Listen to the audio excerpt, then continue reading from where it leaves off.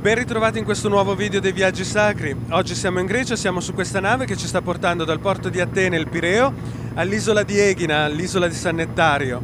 Naturalmente le navi sono assolutamente indispensabili per la Grecia per collegare il continente alle isole e le isole fra di loro.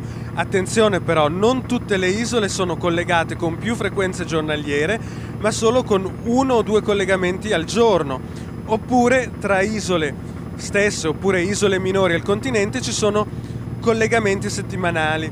Quindi per sfruttare al meglio tutto il vostro tempo in Grecia e vedere tutto quello che desiderate, informatevi attentivamente su tutti gli orari delle navi.